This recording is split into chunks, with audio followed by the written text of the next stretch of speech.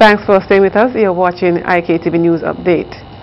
As we continue now with more local stories. The opposition NDP has issued a release stating that its leader, Arnim Eustace, will be stepping down from his position as that of opposition leader. At a meeting of the Central Committee of the New Democratic Party on Tuesday, November 15, 2016, the Honorable Arnim Eustace addressed the members present and announced his decision to resign as leader of the opposition and president of the New Democratic Party.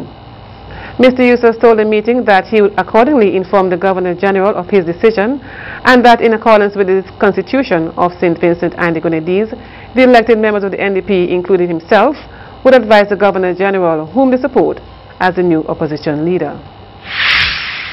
Mr. Eustace also stated that he would remain as parliamentary representative of the East Kingstown constituency. Mr. Eustace has been leader of the opposition since 2001. He indicated that he felt that he had made his contribution to the party in that position for over 16 years and that it is time to pass on the baton to someone else. The outgoing leader of the opposition and president thanked the Central Committee for their support over the years and expressed his satisfaction in serving the NDP. He noted that he is fully prepared to lend his support to his successor as leader of the opposition and president of the NDP.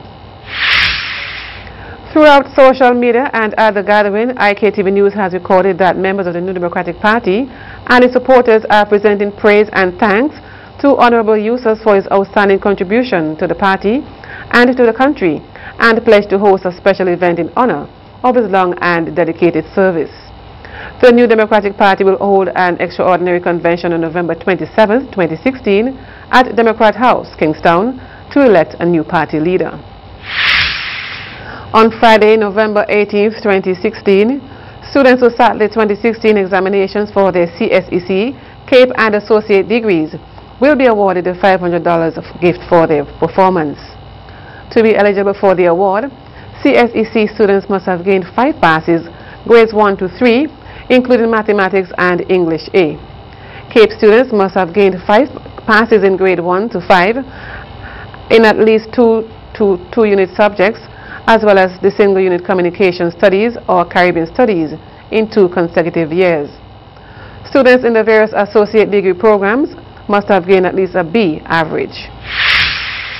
Of the recipients who gained associate degrees and will receive award, 71 from the St. Vincent and the Grenadines Community College, Division of Arts, Science and General Studies, and the Division of Technical and Vocational Education, 30 from the primary program, and 1 from the Early Childhood Program and the division, at the Division of the Teacher Education.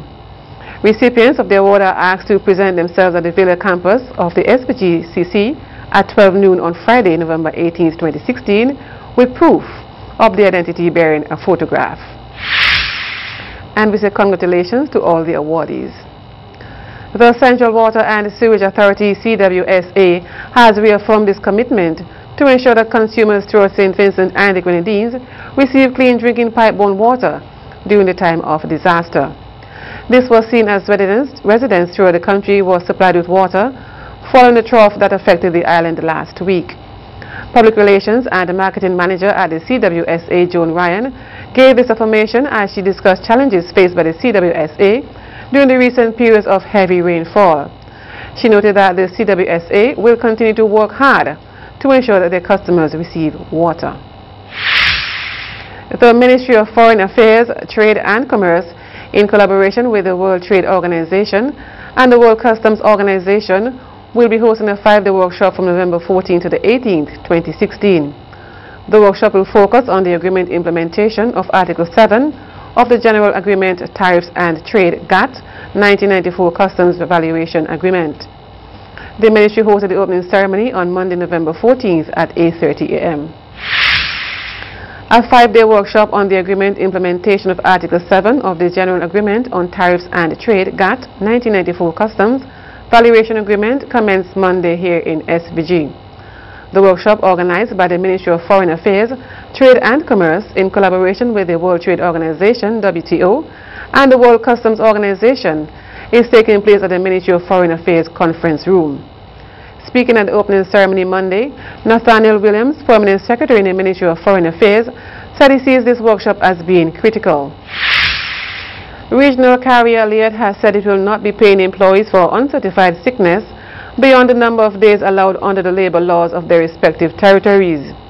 According to the Antigua Observer newspaper, the announcement follows bitter public changes exchanges between airlines, management and Leeward Islands Pilots Association LILPA and the Leeward Islands Flight Attendants Association LIFAA. The associations have hit back at charges leveled by Liat board member Lennox Weston and other senior airline officials that frequent illness among staff was responsible for the airline's high volume of delays and cancellations. In a press statement, LIAT said workers were informed about the policy back in March and that it had already begun working action or taking action which would affect employees across the board. St. Vincent is among Caribbean governments warned to prepare for more criminal deportees to the region under the Trump administration.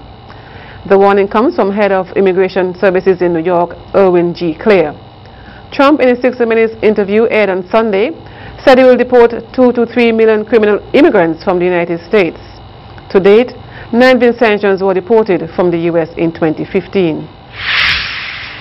The Royal St. Vincent and the Grenadines Police Fire Department is currently hosting a capacity building exercise for its members, which runs until December 24, 2016. Christopher Sampson, representative from the IRP Fire and Safety Limited out of Trinidad and Tobago, is in the state conducting a training program with the local firefighters. Mr. Sampson said the training program is focused on a number of key areas to ensure that local firefighters are prepared for any eventuality, especially with the coming on stream of the Argyle International Airport.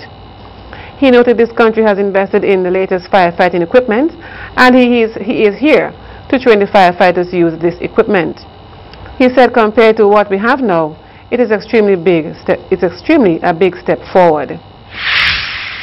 The Ministry of Economic Planning, Sustainable Development, Industry, Labor and Information, in collaboration with the Ministry of Education, National Reconciliation and Ecclesiastical Affairs, the National Telecommunications Regulatory Commission, NTRC, and the Director of Public Prosecution, will be conducted a sensitizing workshop on the Cybercrime Act.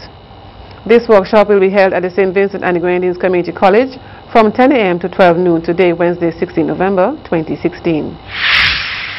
You're watching IKTV. The sporting highlights are up next with Johnny Richardson.